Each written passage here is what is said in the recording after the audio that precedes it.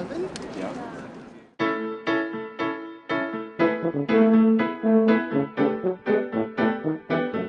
Are you like an angel coming down from heaven and figuring out what this earthly thing is all about? Okay. Well, number one, friends are the most important thing in the world, and everybody fits in San Francisco. Will you be my friend?